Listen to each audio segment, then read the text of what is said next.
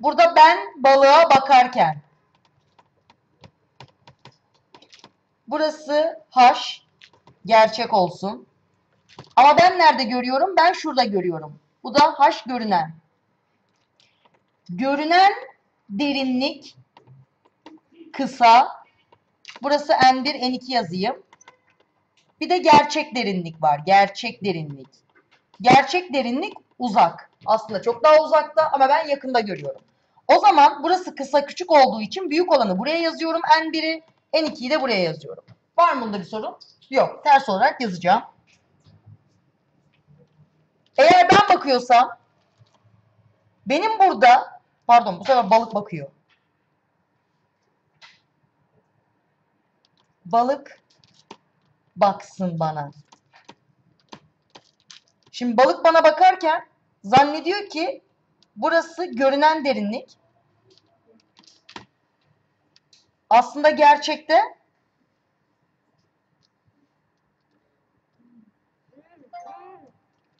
yani gerçekte daha yakınım. Ama o beni daha uzakta görüyor. Su derinliği olarak. O zaman ben diyorum ki balığın gördüğü derinlik gerçek.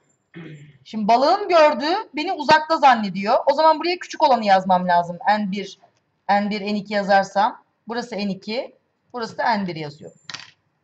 Anlaştık mı? Gerçekte daha yakınım. O yüzden küçük olan büyüğü N1'i yazdım. Gördüğünü falan verir bir. Yok hiçbir şey vermeyecek bir tanem. Yani diyecek ki hiçbir şey yok. Balık var, insan var nedir falan diyecek. Mesela soruda şey. Soruyu söyleyeceğim şimdi. Öyle soru çözeceğim. Tabii tabii tamamen hızdan kaynaklı. Yavaşlayıp hızlanmasıyla alakalı. Şu üst taraf N2 mi oldu? Evet.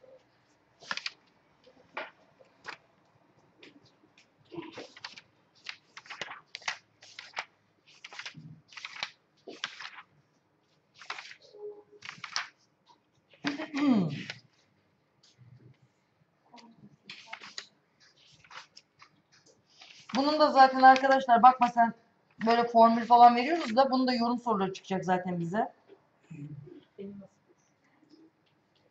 Mesela ne diyecek? Şöyle bir tane veriyor. Burada sıvı var. Burası tabanı. Burada bir tane göz var. Bana diyor ki K cismine bakan gözlemci K'yı yakında mı görüyor, uzakta mı görüyor? K'yı daha yakında görüyor. Görüyor. K'nın yaklaşma miktarı 1. Sıvının kırıcılık indisine. 2.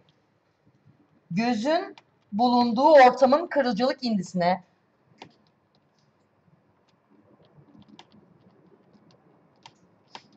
Üç, sıvı derinliği. Dört, gözün sıvı yüzeyine uzaklığı.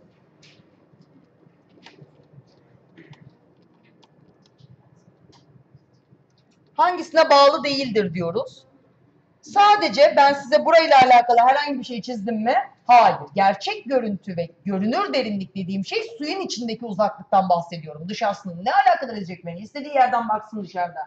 Çünkü dışarısı boşluk benim için. Boşluk demek ne demek? Hiçbir şey değişmiyor demek. Ha buradan bakmışım boşlukta, ha uzaktan bakmışım. Hızı değişmiyor ki boşlukta. Hep aynı hızla gidiyor. Bu yüzden bizim için ne bağlı? Burası gerçek derinlik olsun. Ben ne görüyorum? Ben burası zannediyorum K'nın olduğu yeri. H görünür derinlik eşittir H gerçek derinlik.